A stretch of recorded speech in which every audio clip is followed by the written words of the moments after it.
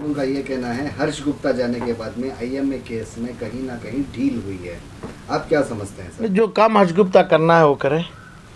जो anti corruption bureau में मैं उनके ऊपर केस डाला सेंट्रल गवर्नमेंट में भी इन्फॉर्म किया, उसका रीज़न है क्या नहीं, उन्हें जाने का वो पता नहीं है, क्योंकि उन्हें खुद गलत किया था।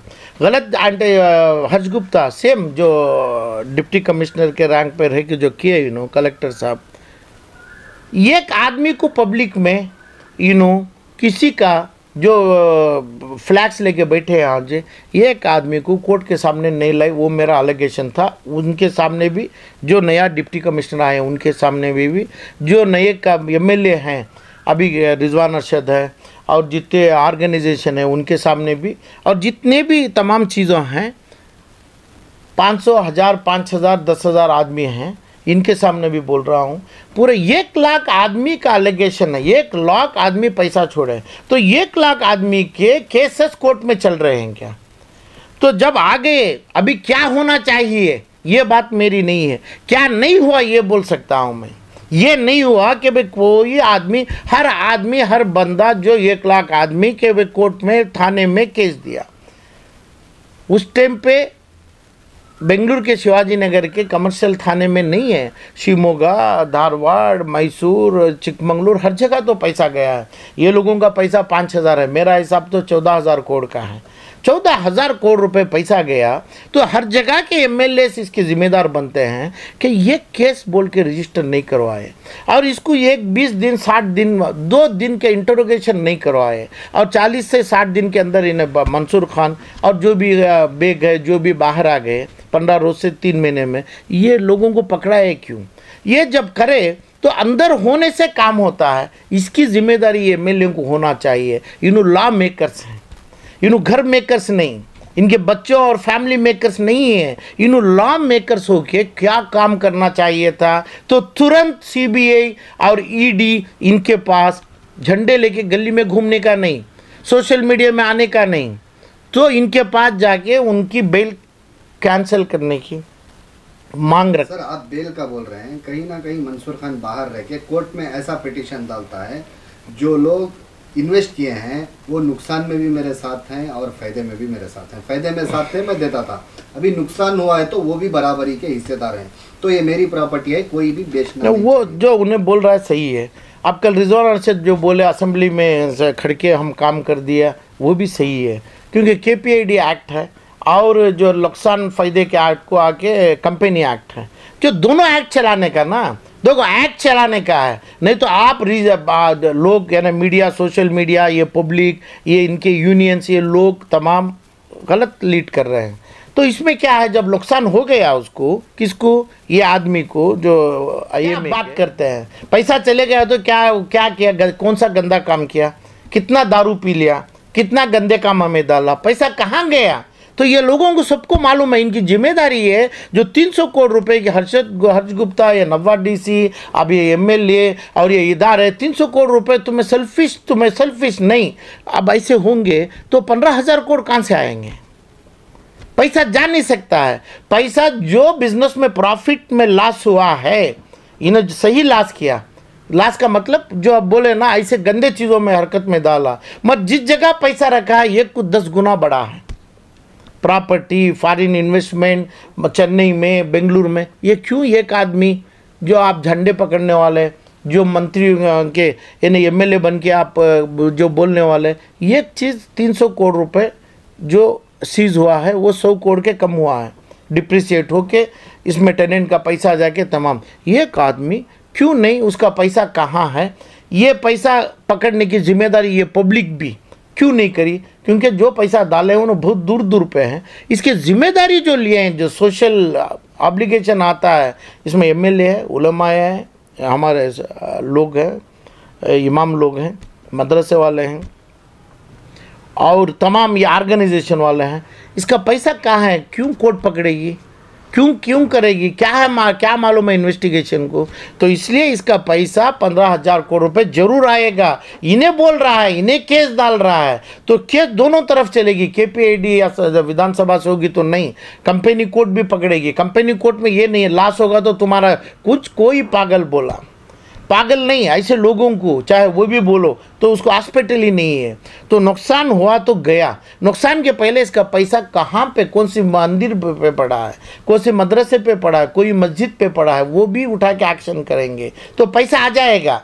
पैसा ज़रूर आ जाएगा माजिद। इसमें ये जब आ गया तो पैसा दोनों तरफ़ से कोट करना है, दोनों चीज़ में करके। इसके ऊपर हमें जब तक उसको जेल के बंधन में नहीं रखते। जब तक इसकी केस नहीं होती क्या अभी सरकार में मंत्रियाँ M L chief minister of Karnataka क्या कर सकते हैं? तीन गिरफ उसकी गिरफ्तारी के लिए मांग की थी कोर्ट से क्या हुआ सर? कहाँ तक आया प्रोसेस में तो जो मेरी मांग कल कल या परसों के दिन रिजेक्ट करे हानरेबल सुप्रीम कोर्ट उसका रास्ता मेरा दूसरा दिए मैं दूसरे रास्ते से जा रहा हूँ। मेरे केस के साथ उनकी पिटीशन लगा लिए। तो इसलिए सुप्रीम कोर्ट बताया कि भाई तुम दो ढाई साल के बाद आ नहीं सकते। दोनों क्लब कर लिए मेरी पिटीशन, मेरी और उनकी, या एनफोर्समेंट डायरेक्टर के। तो एनफोर्समेंट डायरेक्टर के 28 महीने लेट हुआ है। तो ये लेट की वजह से डिसमिस किए और मैं मेरे तरीके से, दूसरे तरीके से फिर जाऊँ, मैं यही पूछ रहा हूँ कि भाई कानून पढ़ने वाले कानून बनाने वाले, कपड़ा बनाने वाले, धोबी का काम, धोबियों को पूरा काम आता है तुम्हें लोग शर्म के साथ कानून बनाने की जगह रोके, ये सभी तमाम मालूम नहीं है क्या? किसको बोल रहा हूँ मैं? ये पूरे एम एल को बोल रहा हूँ, जिसमें ज़िम्मेदारी लेके। रिजवान अरशद अकेला कैसा इसमें जिम्मेदार होता है? रिजवान अरशद कैसा कर्नाटका के कैपिटल में झंडा उठा सकता है? दूसरे एम क्या करते पूरे रिजाइन कर दिए क्या? वो लोगों, वो एरिया क्या, लोगों का पैसा नहीं है क्या? वो लोगों को लाए क्या? तो इसलिए ये सभी जमात पॉलिटिकल जमात बनी है। तो कानूनी जमात जमना चाहिए तो ये लोगों के ऊपर इन्हें बरी नहीं होना चाहिए। कौन मंसूर और दूसरे? बरी नहीं होना तो इसके ऊपर के पूरे केसेस आज कोर्ट में खड़के। अब जितने लोग बोलते हैं तुम्हारे टीवी चैनल के सामने इसको क्या मालूम है? कैसे मालूम है कि भाई इसके ऊपर एक भी एविडेंस नहीं देंगे, एक भी अलिगेशन नहीं है, एक भी केस रजिस्टर नहीं हो के, जो सिविल कोर्ट में हो रहा है वो नहीं है। क्रिमिनल में इन्हें बरी हो गया तो एक पैसा नहीं आता है। ये काम क्यों करे? क्यों करवाए? इतना कानून नहीं जानते हैं, इतनी गंदगी काम कर रहे हैं। तो ज़रूर मेरे दिल इलम है मुझे, ये लोग पूरे ज़रूरत पड़ी तो जेल जाएँगे। कौन?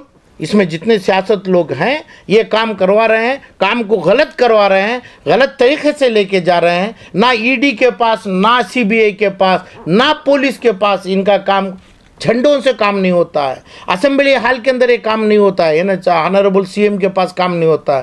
कानून का तरीका से सुप्रीम कोर्ट से ये बरी हो गया, समझो। ये पैसा कहाँ से आ जाएगा? बरी होने के इन्हों कारण बने हैं। कौन बने जो 300 करोड़ का जो झंडा लेके फिर रहे हैं? इन्हों बरी होने का मंसूर खान को कराने की कोशिश में क्योंकि इन्हों 300 से पंद्रह हज़ार करोड़ की तरफ़ पैसा हर हर इंसान की, जमात की, पब्लिक की ज़िम्मेदारी है। जो औरत चिकमंगलूर में पैसा डाले, उनकी नहीं है। ये ज़िम्मेदारी इन्हें पैसा कहाँ रखा है? कौन भी एक आदमी पकड़ा क्या? पुलिस कितना करके पकड़ेगी? पुलिस केस रजिस्टर करी क्या नहीं? ये काम पता नहीं क्या, ये इसलिए लेजिस्लेटर का काम होता है कहाँ करवाया तुम्हें एक भी केस नहीं रजिस्टर करे, क्यों नहीं करवाया? इसके बावजूद भी फैसला इनके हक में मिलेगा। वो कोशिश मेरी हो रही है, चाहे सुप्रीम कोर्ट से हो, और एस एफ़ ओ से हो, ये के पी ए डी एक्ट से हो, तमाम मिल के हो रहा है। मगर जो तमाशा कर रहे हैं, ये लोगों को मालूम होना चाहिए, ये कानून को गलत इस्तेमाल कर रहे हैं। जैसे A D G P of Karnataka और deputy commissioner, collector of Bengaluru जो मंजुनाथ, जो अरेस्ट हुए, ये चीज़ें भूल के बैठे हैं इन्हों।